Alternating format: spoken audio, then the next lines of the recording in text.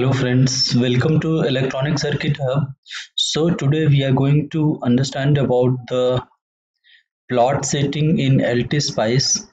So today's topic is how to change waveform thickness in LTSpice or how to change plot line setting, plot line thickness in LTSpice so this is very small topic but it is very interesting topic okay? So let me run the simulation first for this circuit and show you how your waveform how your waveform looks like. Then i will i will do the waveform thickness change okay? I will do the plot line thickness setting right?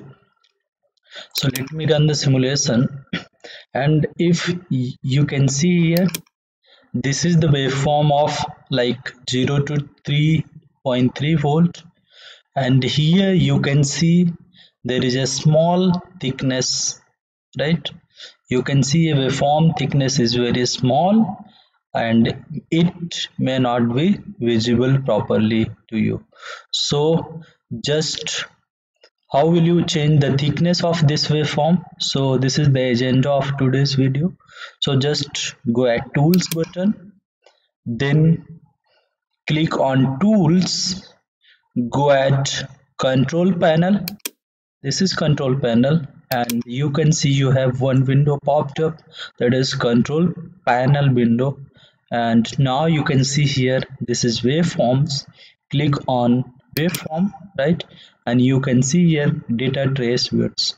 You can increase the width of this trace let me first do like 5 click it ok and you can see now right? You can see this is the thickness.